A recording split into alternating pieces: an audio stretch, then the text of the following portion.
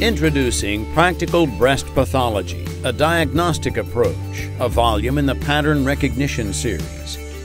Apply a systematic pattern recognition method to achieve more accurate diagnoses with Practical Breast Pathology, a diagnostic approach.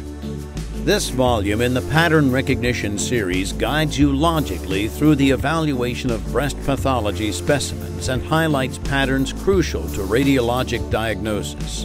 Compare specimens to commonly seen patterns and turn directly to in-depth diagnostic guidance using the unique pattern-based visual index at the beginning of the book. Assess key pathologic and clinical aspects of specimens using images that help you evaluate and interpret biopsy samples. Employ state-of-the-art advances in the field including the latest molecular diagnosis in breast pathology and the use of radiology in optimizing detection of breast lesions. Access the fully searchable text online with Expert Consult. Use pattern recognition for more effective evaluation of even the most challenging neoplastic and non-neoplastic specimens in breast pathology.